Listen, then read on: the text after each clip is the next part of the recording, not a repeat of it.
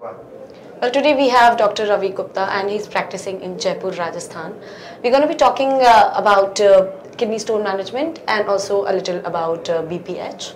Well, very welcome, sir. Yeah, so the very first question which comes to my mind when we talk about kidney stone management is why do you think the number of cases of kidney stones are on the higher rise these days? Uh, I stay in, I practice in Rajasthan, Jaipur. So Rajasthan and Gujarat, these are the stone belt. So we, we see a lot of patients who have been suffering from the stones because of the natural habitat. Yeah. Definitely with the dietary modification, dietary intake what we have, the lesser liquid intake. So these all are the, the genetic factors also. These are the factors which uh, potentiate or aggravate the stone formation. Uh, if you could recall uh, one of your most challenging case when it comes to kidney stone and how did you tackle that? How did you remove the patient stone? See, stones is a is a normal day-to-day practices. I operate about 50 to 60 stone patients per month. I operate upon them. So the most challenging, we see a lot of challenging patients. Uh, yeah, I remember it was a, such a huge stone that it, it you know occupies almost the entire kidney, uh, filling each and every part of the kidney. And the stone bulk was around 14 to 15 centimeter was the stone size. Oh my. That is the thing which I took, I think that it was one of the major cases. I mean, the big uh, stone which I have dealt with, but stone is a normal, you know, our day-to-day practice. So we do not have any, you know, anything. Um, How did you tackle that? We have operated upon that, and the patient is absolutely fine. So uh, the, the kidneys were sacrificed or uh, No, no, kidney, no, no, no. We No, are, we are talking of the kidney, the management of the kidney stones. Kidney was fully functioning. Yeah. Despite having a, such a big stone, Hmm. but the stone was managed beautifully, and he was stone-free in a single surgery. Wonderful, wonderful. Well, we have a greatest misconception when it comes to kidney stones. Would you like to break any of them? the misconception of the kidney stone, the pe- pe- uh, the uh, biggest, I mean, the most frequent question which is being asked by the uh, attendants that uh, when we remove the stone, when it will form again.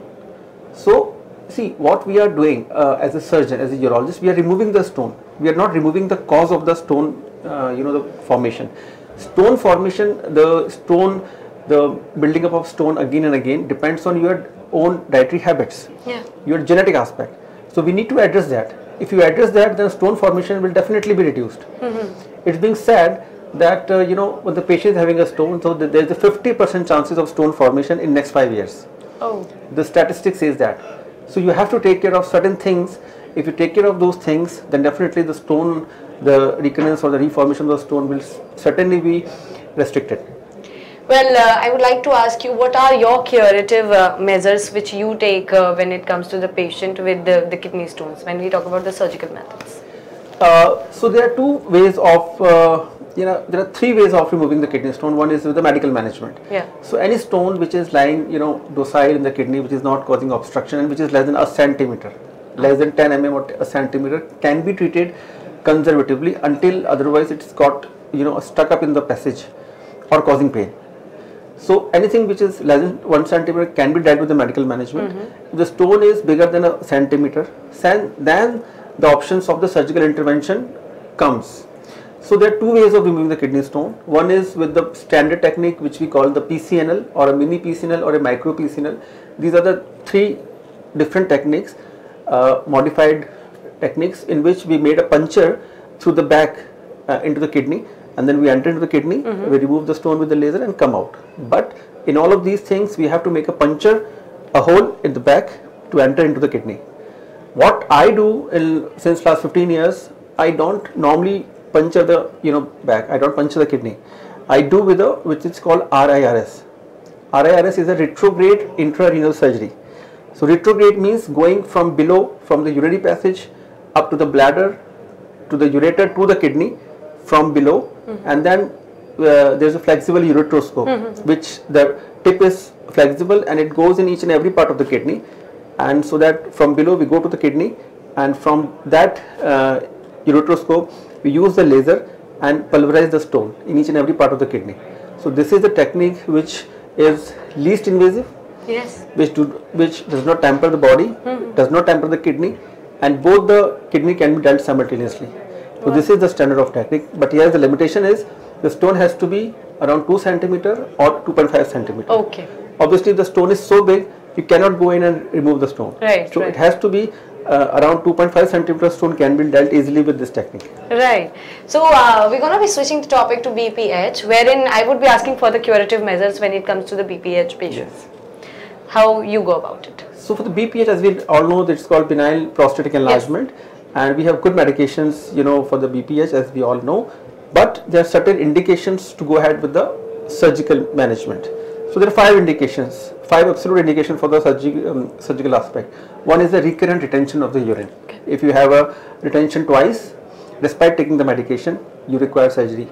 You have a recurrent UTI, you have a recurrent blood in the urine, you have a significant urine holding up after passing the urine, which is causing the kidney to swell up and causing the creatinine to rise.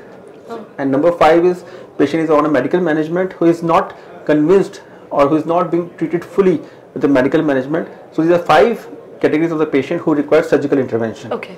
So my practice since last 18 years, I do, there are two ways of removing the prostate. One is the standard TURP. Okay. So TURP is a transurethral dissection of the prostate which everybody does. It's a basic bread and butter in as a, as a urological training we treat, we've been taught and we are you know treating our residents to do that. But I do, I don't do TURP, I do with a laser which is called HoLEP. The standard of care is a holmium laser. So I do with the HoLEP which is called holmium laser enucleation of the prostate. So it's a certain advantage of this HoLEP over the TURP. Okay. Could you please elaborate on the advantages sir?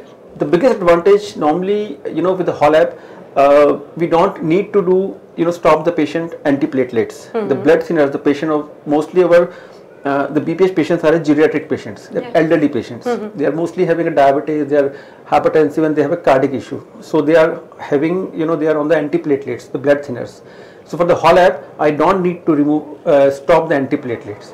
Even the patient on two antiplatelets, clopidogrel and ecosprin combined, need not to be stopped before the HoLEP, and you don't see a significant bleeding. I would say you you don't see even the minimal of the bleeding. Wow. So you there, there's no need to stop it. Number one. Number two, the fluid which we use while doing the HoLEP is a normal saline, which which contains the you know the electrolytes same as what the body fluid is. So there is no tampering with the electrolytes. Uh, there is no electrolytes, uh, you know, imbalance in the body after the surgery. Right. And uh, the biggest advantage, third one is the patient uh, does not have, you know, a kind of dysuria or a burning after the surgery. And I remove the catheter on the very next day after doing the prostate. So patient goes home to, uh, I mean, next day, you know, without any having any burning and absolutely clear urine. Wonderful. So this is the advantage of HoLEP. that is amazing. Well, any take-home message for our viewers? So take home message, uh, yes, definitely the stone should not be ignored. Yeah. You can take the different modalities, homeopathy, Ayurvedic, allopathy, whatever you want to take it, but make sure that after 7 to 10, 7 or 10 days of the treatment, the stone is off the body, number one. You should not, you know, forget the stone in the body, otherwise you may lose your kidney. Oh. Number two, as a transplant surgeon, I am a transplant surgeon, so we should, uh, you know, create awareness on organ, uh, you know, donation Yes. because there is a uh, as a kidney transplant surgeon i know there are thousands of people millions of people who are dying because of being shortage of the kidney Oh. so if that you know deficit can be fulfilled by the cadavers the brain dead patients who are eventually you know uh, going to be buried or burned after 2 to 3 days during that window when the brain is dead and the heart is pumping if we can retrieve the organ And how much time um, one need to go to uh, for the for the donation after? for donation depends on which organ you are harvesting yeah, uh, we are talking about kidney. For the kidney, it is 12 hours. Twelve hours. 12 hours or even 24 hours up to that window, you can uh, retrieve the kidney, keep it into, uh, into the you know ice box, and then uh, you know implant on the patient. Yes. Yes. Thank you so much, sir, for your valuable insights. So it was very amazing Thank you. talking Thank to you. Thank you so much. Thank you.